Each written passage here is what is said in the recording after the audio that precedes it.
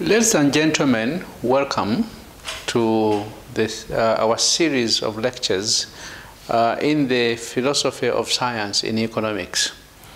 Uh, I know that uh, by now we have covered a number of things. Uh, we started with a general understanding of what philosophy is all about. Uh, we went through the concepts of ontology, we went through concepts of epistemology, and we went through uh, concepts of metaphysics. And um, uh, if you recall, around that time, I did uh, take you through a number of very important and yet interesting uh, concepts uh, in the philosophy of science. Um, uh, and I told you that um, the philosophy of science that we are undertaking in this course uh, is related to uh, economics. In other words, we are dealing with the philosophy of science uh, in economics. Uh, so all those aspects were covered, if you recall. Uh, we went through the nature of understanding. And uh, of course, at that level, we are concerned with knowledge. then from there, we proceeded and continued with the reality uh, because we had to understand what reality is all about. And then we went through the uh, uh, uh aspect of constructing reality out there. So, uh, construction of the world was yet another topic that uh, we covered.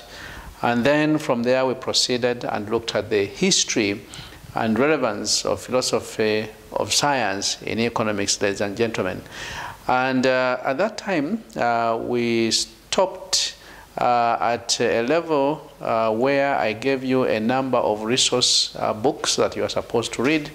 And I remember asking you to go and read uh, the book uh, Conjectures and Refutations uh, by Karl Popper. And I hope you had an opportunity to read that book, ladies and gentlemen. I asked you to read the philosophy and methodology of economics. I asked you to read the Handbook of Economic Methodology.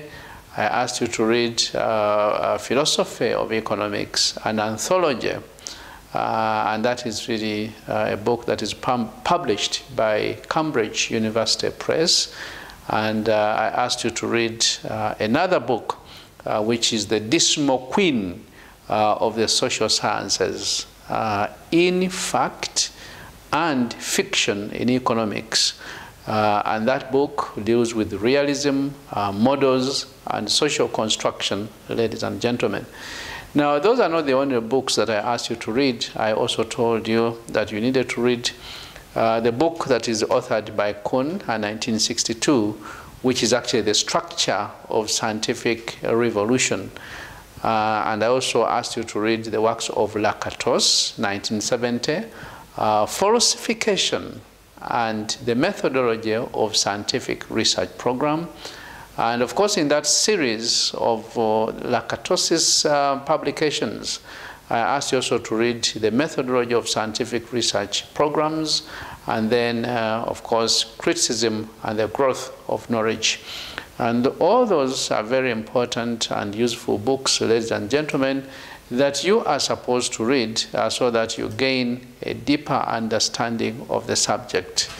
Now today, uh, which is actually our lecture 7, ladies and gentlemen, and this is the seventh meeting, uh, I continue uh, uh, exploring uh, the aspects in the philosophy of science and economics. So what you call philosophy of economics? And uh, uh, this time I want you to add another yet important book that you must read, uh, which is uh, a book published by Austin, 1962, and that is How to Do Things with Words, uh, and that is uh, published by Harvard University Press. I also want you to read the book by Aydinonat, 2008, and also the works of Bhaskar, uh, and uh, of course, there, the books relate to what we call the invisible hand uh, in economics and is published by Routledge.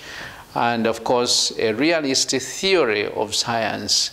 Uh, so that book is very important and you must probably read that book.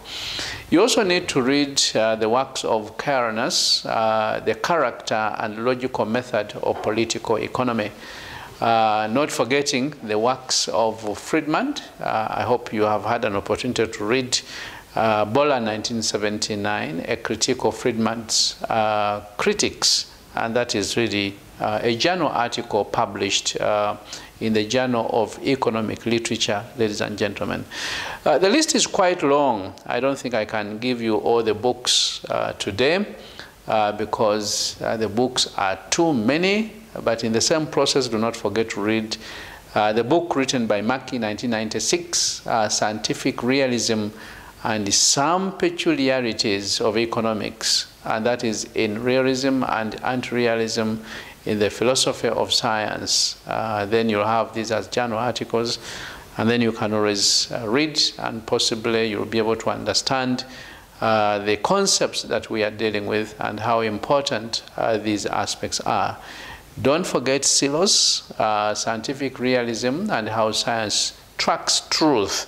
And this is published by, uh, by London, Routledge, actually, London, 1999. Ladies and gentlemen, today I want to handle yet an important and very interesting uh, concept or topic, which I'll call realism and anti-realism about economics. So that is what we are covering today in this lecture uh, 7, and uh, we shall continue with the same in lecture 8 and lecture 9. We hope to have around three lectures about the same concept, ladies and gentlemen. Now, just to give you a structure of how we are going to uh, discuss this concept, uh, we, I'll give you an introduction uh, to the concept of realism and anti-realism uh, about economics. Uh, I'll take you through uh, scientific realism in conventional philosophy of science. then we shall continue with the ingredients of a minimal scientific realism, and thereafter, we shall handle another yet important aspect of realism, uh, which is common sensibles and their modifications in economic modeling. So there we, we deal with the issues of common sense and uh, how do we then model uh, common sense. And then we shall proceed with the social construction. Uh, social construction uh, is an important aspect that we need to understand in realism and anti-realism about economics and thereafter, ladies and gentlemen, I'll give you a conclusion uh, of our discussion. So why don't we then start? Uh, ladies and gentlemen, as I've always told you, uh, and I continue to uh, make similar statements and reference to the earlier discussions that we have had, economics is a controversial scientific discipline. And uh, you need to really be aware of that. Uh, there, is, um, uh, there are controversies uh, in the discipline of economics. It's a controversial scientific discipline. And um, uh, one of the traditional issues that has kept economics and their critics busy uh, is about whether uh, economic theories and models are about anything real at all. So the question of reality uh, seems to come to the fore at any given discussion uh, when the discipline of economics uh, crops up. Now, the critics of economics have argued that uh, economic models are based on assumptions that are so utterly unrealistic and of course, you know how we construct knowledge in economics. We always make assumptions. And that is very true. And um, there's a general belief that if you're going to model or, or come up with a, a model of behavior and actions, based on assumptions, then those models that you have come up with uh, become purely fictional and they have nothing informative to say about the real world. And those are the critics uh, of economics, ladies and gentlemen. And uh, those critics also claim that, um, uh, uh, uh, that um, there are earlier scholars in the area of economics who have actually gone ahead to promote the anti-realist instrumentalism, ladies and gentlemen. And uh, they actually cite out people uh, like uh, Milton Friedman in 1953 and, and, they say that, you know, what he came up with and his writings and so forth, uh, that uh, he, he, he, really promoted that element of anti-realist instrumentalism. And of course, as you can see, such a kind of thinking uh, justifies unrealistic models, and uh, that's why you've got so many people coming up and uh, critiquing uh, uh, the things that we do in economics. Now, some people argue that um, uh, what is the case in the economy and uh, the way economics relates to, to it are socially constructed so that there is no economics independent way the world works or truth can be construed about uh, such things, ladies and gentlemen. So that is the kind of thinking uh, that some people have. So they argue that uh, you can't really talk about the economy and you can't, you can't talk about the way economics relates to economy uh, without really bearing in mind the social construction of reality in an economy uh, because you cannot dwell with the, that element of social construction. Uh, so knowledge that we pick at the end of the day is socially constructed, and therefore uh, they continue to argue that economics uh, probably promotes certain models and uh, possibly theories which do not capture reality at all, ladies and gentlemen. Now, on both of these pictures that I've just given you, ladies and gentlemen, uh, realism would seem to have um, little to do with economics. Uh, so that's why uh, the, the, you have those arguments. So these pictures are too simplistic.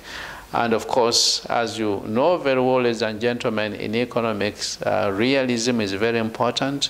There is more realism in and about economics uh, than uh, first would appear.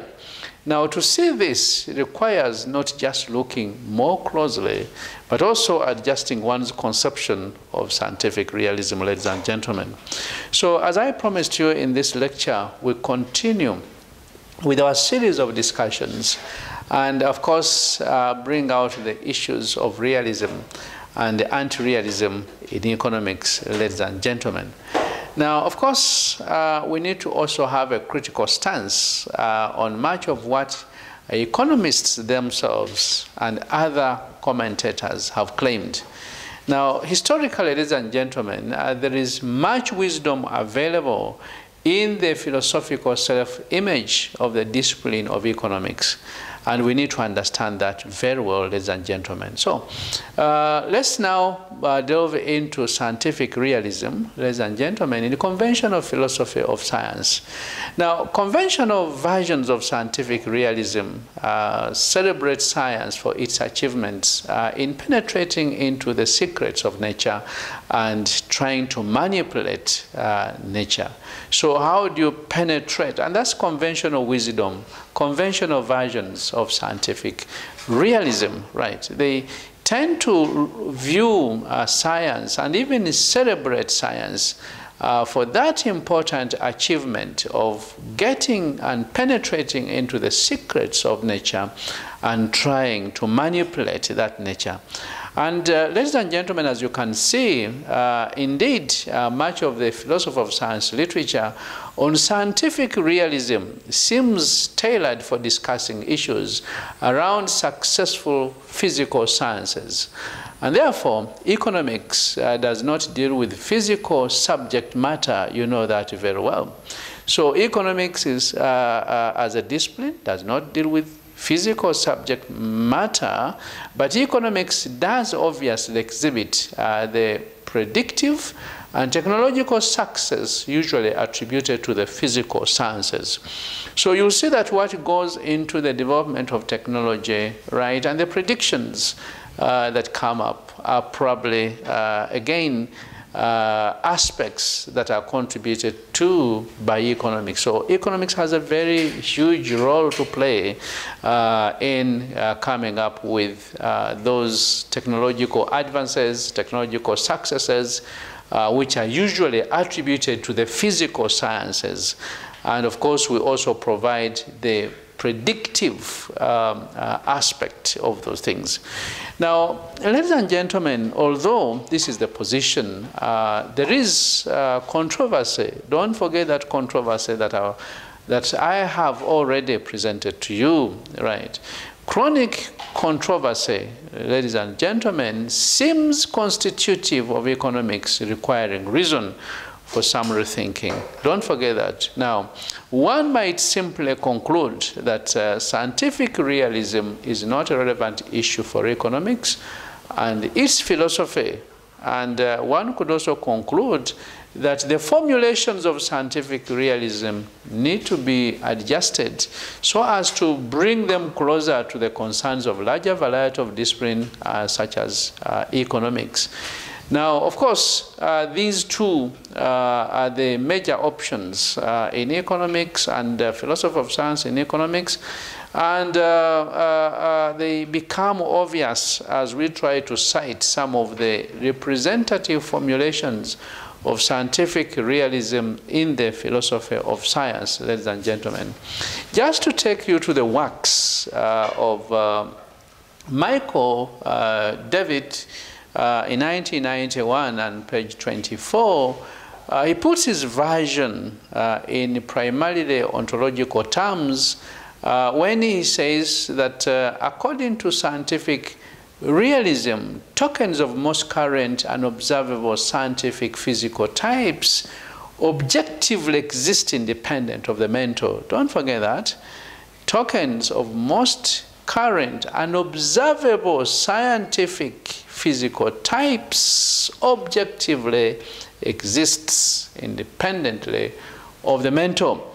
Now, of course, among the troubling elements uh, here in that definition uh, given by Devitt 1991 is that you have issues of the unobservable, unobservable component, uh, issues uh, which are physical, right? And that's why it says tokens of most current unobservable scientific, right, physical types. In other words, you have unobservable as a concept coming up. Physical is another element, but of course, in his definition towards the end, he talks about independently of the mental. So they exist independently of the mental, ladies and gentlemen. So, meaning that economics does not deal with the entities that are unobservable, uh, in the same way as paradigm cases in physics are, such as electrons and electromagnetic fields and ions, ladies and gentlemen. So in physics, you'll be talking about those specific things. And yet in economics, you, can talk, you, you can't talk about electromagnetic fields and ions. You not talk about electrons and so forth. And therefore, the uh, entities that economics does deal with do not exist independently of the mental, ladies and gentlemen. So I can give you an example. Uh, for example, uh, think of uh, issues that we cover in economics, like preferences and expectations, uh, issues of money and prices, uh, issues of households and business firms, so you'll see that all these issues, preferences, money, households and business firms, etc., they depend on human minds, on human minds for the existence. So there's no you can do away with the human minds, right? And therefore, you cannot say the way Devitt, 1991 started, that tokens of most current and observable scientific, right, all these exist independently of the mentor, It is not possible. Right, because preferences and expectations, money and prices, households and business firms, they depend on human minds for their existence.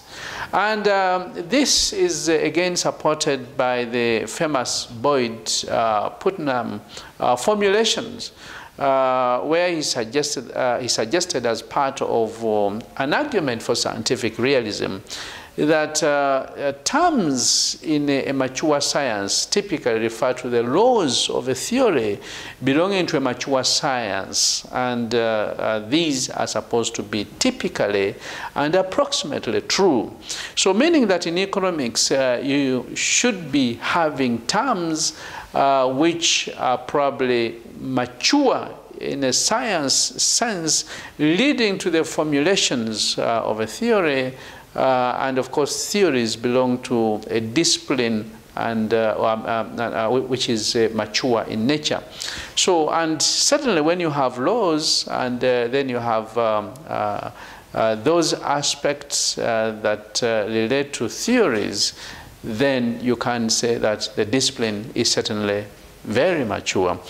Now, these claims, ladies and gentlemen, that I am discussing right now are proposed to define scientific realism and are then supposed to provide the best explanation uh, for the uncontroversial, predictive, and technological success of science. Ladies and gentlemen, if scientific realism were not true, the success of science would be an inexplicable miracle. Right, so it's very important uh, for us to know how we move into this direction. However, in the case of economics, ladies and gentlemen, there is no such similar obvious fact of success to be explained. And uh, this is true uh, because um, uh, it is not very clear uh, whether there is any other sense in which economics might be a mature science, uh, whose laws are approximately true, and it's also not, uh, not clear whether the Boyd uh, Putnam uh, formulation is relevant to economics. So somebody might actually say that what Boyd Putnam comes up with is not in any way relevant uh, to the discipline of economics. It's up to us uh, during our discourse, our conversation, uh, to justify that kind of thinking or even to dismiss that kind of thinking. So as you can see here, uh, strong epistemological formulations uh, are popular in the philosophy of science, and we know that very well. And it's therefore our responsibility to find what these epistemological formulations uh, in economics are. It is our responsibility. So we don't even just have to suggest that the world is knowable, uh, that justifiable truths about it are attainable, and that scientific realism is taken to make the empirical claim. Uh, extra, extra, we can't even continue making such statements that we are entitled to believe that many extant theories are true about it. No, we have to interrogate the knowledge, uh, the body of knowledge that exists uh, in this area. And that's why our first lectures centered around the theory of knowledge. And uh, when we are dealing with theory of knowledge, I hope you remember, we are dealing with issues of epistemology, epistemological issues. Epistemological foundations um, are very crucial and very important. So uh, then it's very important for us to continue uh, with that kind of thinking, ladies and gentlemen. So, uh, let me just remind you something, since many of you have done economics, and I'm sure you appreciate uh, the discipline of economics, and you love it very much. We know that uh, economists are typically very cautious. They are cautious people, and they are very cautious um, in attributing literal truth uh, to their theories and models. Uh, that is quite important, uh, yet they tend to be more relaxed uh, when talking about approximate truth. Right, so when economists come up with their models uh, to try and explain uh, what is happening out there, right, they are very cautious uh, in attributing truth to their theories and models. Uh, you need to mark that, that's quite important. And um, uh, they are always very much prepared to attribute literal falsehood to models and their parts. So during their discussions, uh, when they start talking about this, they figure they've got for poverty, as measured by this kind of uh, index, etc.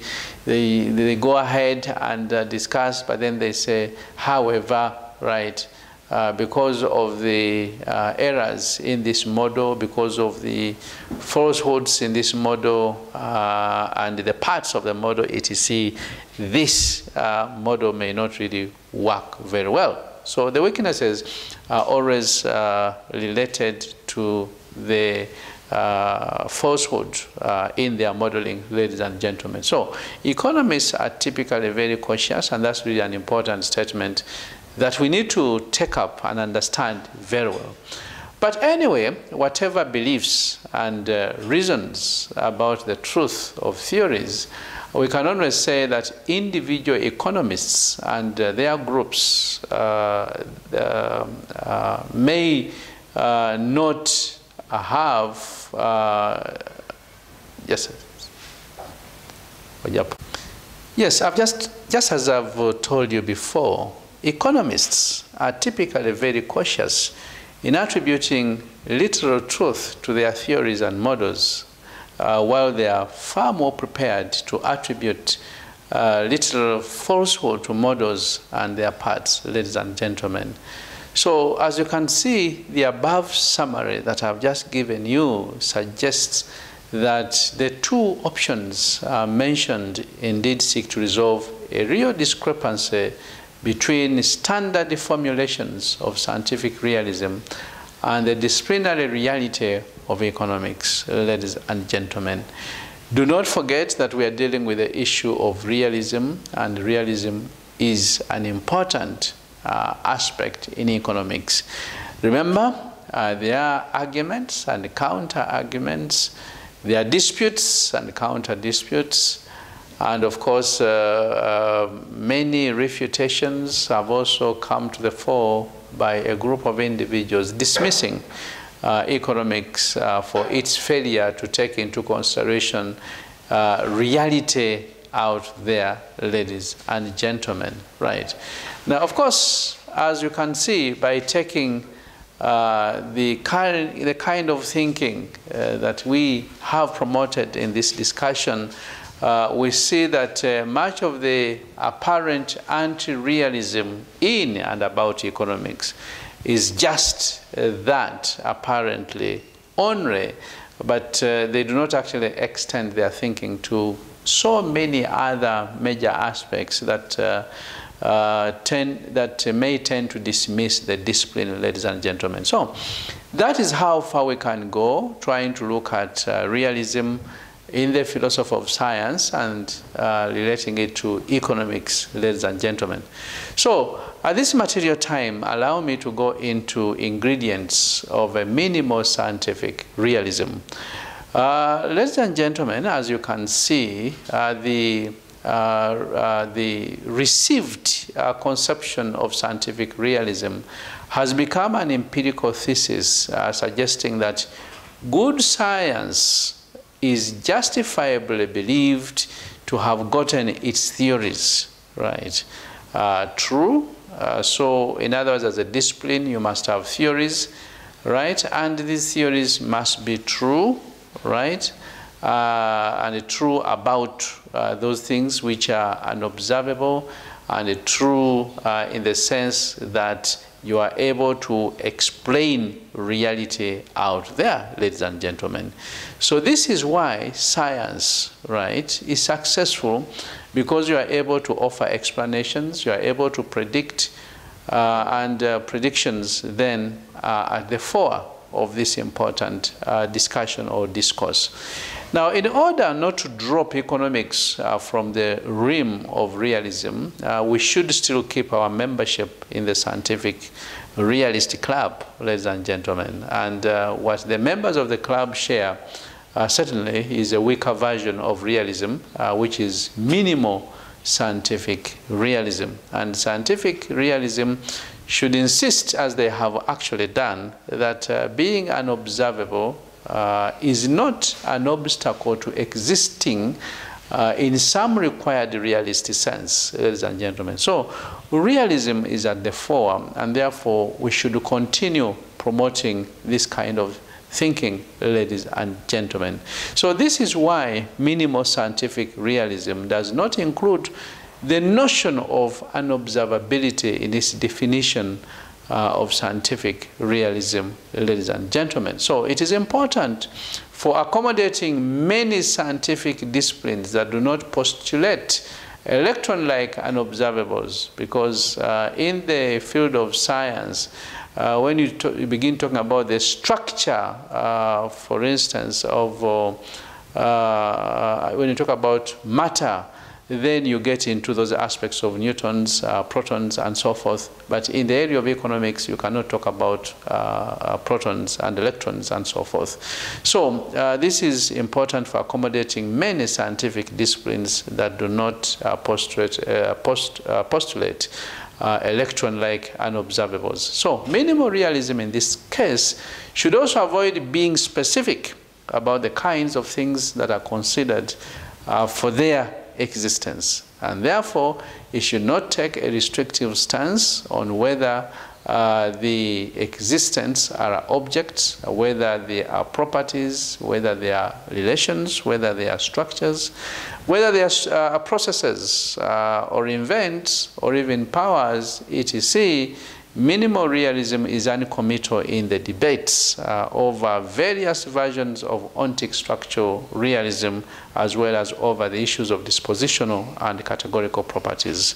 So, in developing logical versions uh, of realism, then we should try to promote uh, this concept further in economics uh, by trying to uh, incorporate models uh, or design or develop models and theories that are able to define and uh, discuss and promote uh, realism out there, ladies and gentlemen. And that is really very, very important. So, scientific realists in this case should insist that many items in the world have a chance of existing mind independently, and that's quite important. And that the existence of electrons that I've already talked about in natural sciences and solar systems, uh, of the existence of mountains and monkeys and so forth, is in no way dependent on the contents of human minds.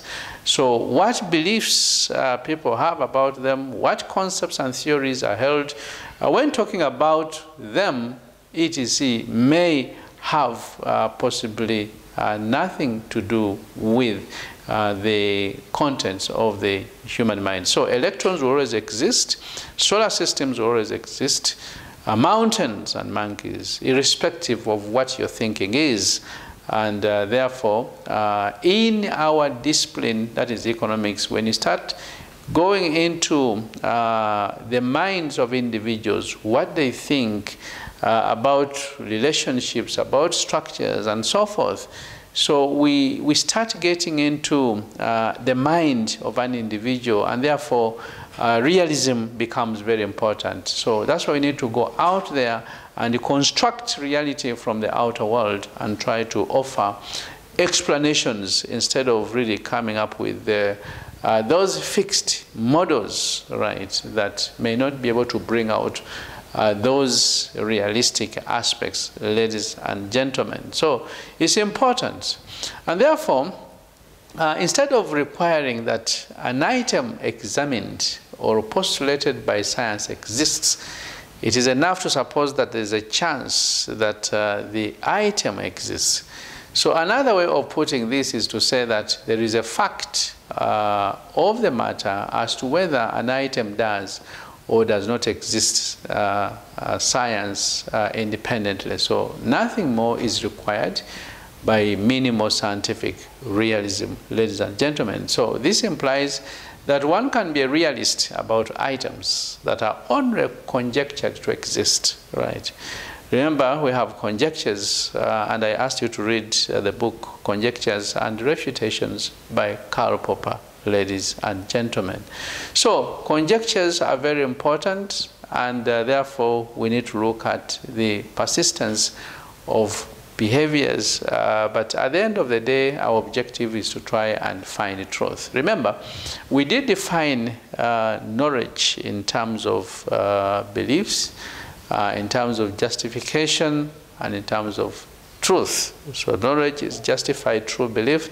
And if we have to understand what is happening out there, then realism is at the center of everything. So we must go out and extract reality out there and then try to model that reality. Unfortunately, the traditional economics that we know of has been a little bit slow to try and uh, adapt uh, modern methods of understanding reality uh, from that perspective by modeling it, ladies and gentlemen. But we can also say that for whatever reason, scientists can change their views about the truth of a theory, but this does not imply a chance in its truth. Again, it takes a realistic attitude to have such views as well as to change them. So we need to understand that very well and be able to model those things ladies and gentlemen. So right now, uh, I will uh, take you to, um, uh, I'll try to revisit that complexity of economics and uh, possibly attempt to uh, move closer uh, towards closing this lecture because um, we need to really uh, come to the close so that next time we discuss other important aspects related to this. Now, I, I did tell you, ladies and gentlemen, at uh, some point that economics is really a complex subject. Economics deals with the, a complex subject matter and uh, is charged by its critics. You know that very well to have stuck on misguided tracks of inquiry and erroneous theoretical frameworks. And uh, all those are allegations which have been heaped on economics. But this does not appear to shake the confidence among many economists that uh, they are doing the right thing. And uh, I must also say at this material time uh, that, uh, ladies and gentlemen, wherever you are, do not feel shaken that people are critiquing your discipline. And in fact, the more they critique the discipline, uh, the more the discipline develops and becomes better and better. And then you'll be able to develop models and theories that will approximate reality. Because uh, theories are meant to explain reality out there, and that's why at some stage I told you that a theory can be considered to be a net that you cast out there in the wide environment to capture that kind of reality and then be able to offer explanations to whatever is taking place.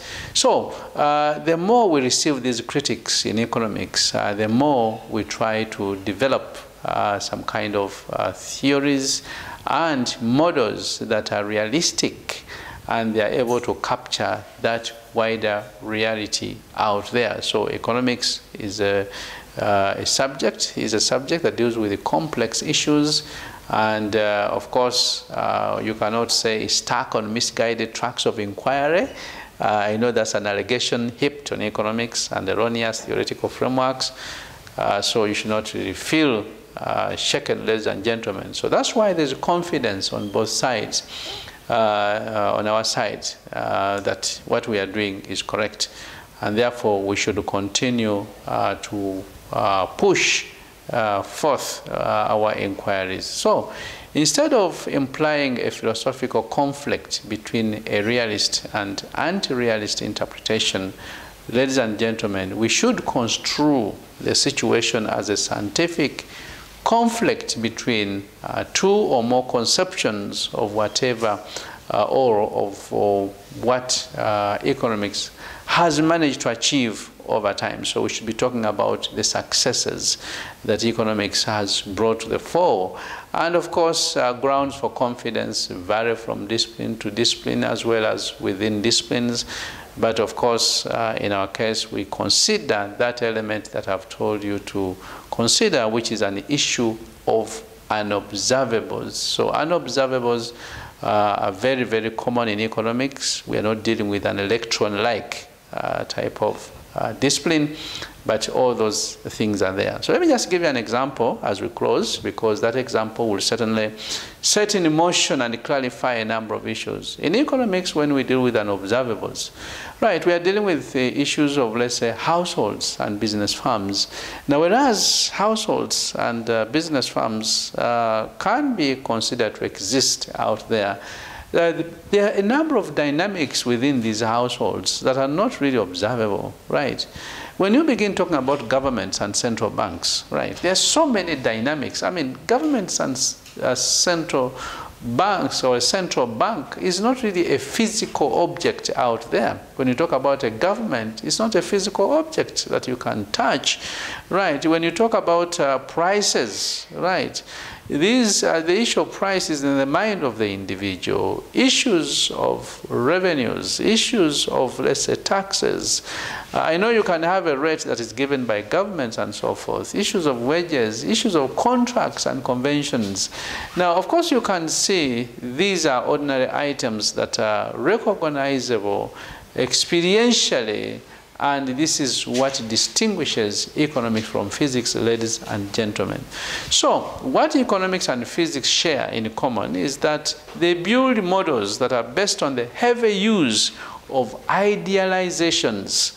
So, in economics, we've got idealizations, in physics, we've got idealizations. Even in chemistry, the same thing happens, ladies and gentlemen. So, but in this case, uh, these aspects of idealizations, they are usually taken literally uh, by some people uh, to capture as a, a, false perspective about the world. So scientific realism faces special challenges in dealing with such falsehood, and it's not very easy, ladies and gentlemen, and that's why in the next section I'll discuss these issues uh, and then consider the issue of independence uh, because these things are really very important, ladies and gentlemen. So, ladies and gentlemen, I want to take this opportunity to thank you uh, for attending this lecture, and I want to thank you uh, for being patient and uh, for listening and I want to invite you to continue reading uh, about issues of realism.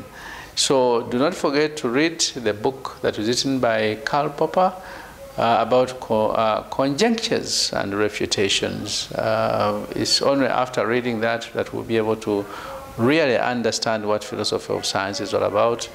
And uh, do not also forget uh, to discuss and read those things that I gave you, uh, the, those books that I gave you to read at the beginning of this course. So, uh, ladies and gentlemen, in summary, uh, I will remind you uh, the things that we set out to cover and how far we have gone in this uh, area. I told you I'll give you an introduction, I'll give you scientific realism in conventional philosophy of science. I also told you that we shall cover ingredients of a minimal scientific realism. Uh, in our next lecture, uh, ladies and gentlemen, we shall continue with the common sensibles and their modifications in economic modeling, and then we shall also go to the social construction and conclude our lecture. Gentlemen, I want to thank you uh, for uh, attending. Uh, I can only say stay well, stay safe, and enjoy your time. Bye.